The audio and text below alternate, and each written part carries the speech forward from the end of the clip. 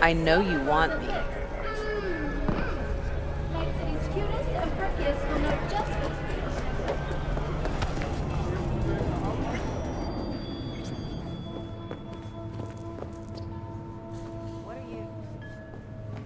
I saw more of those freaky murals.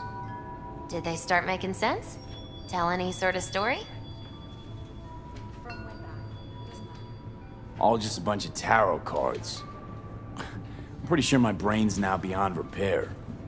The tarot tells the story of a fool's journey. Show me what you found.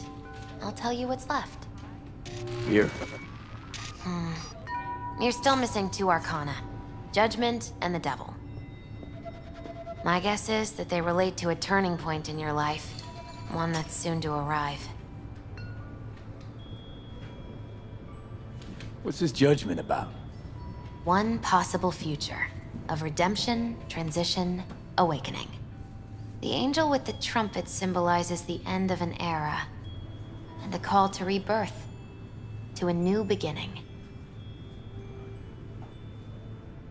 Rather not run into the devil.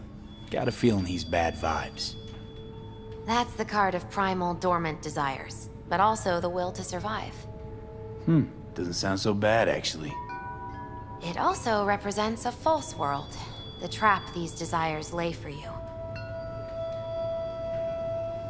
What's up with the wandering fool? The fool is you and Silverhand. You've traveled a long road together, discovered your potential. And where are we headed? Your destination is the world, the final arcanum. Both of you waged a war on the world. So there are two possibilities. Declare victory, or make peace. Could lose the war too.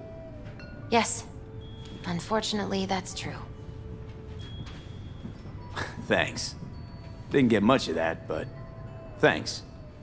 You'll understand when the time comes. I can't explain everything. All the tarot can tell me is that you will reach the world by one of four paths. Meaning, The final leg of the journey goes through the sun, the star, temperance, or the devil. could just die. Not even get that far. Oh, come on. You won't let that happen. Take this. It's all I can do to help.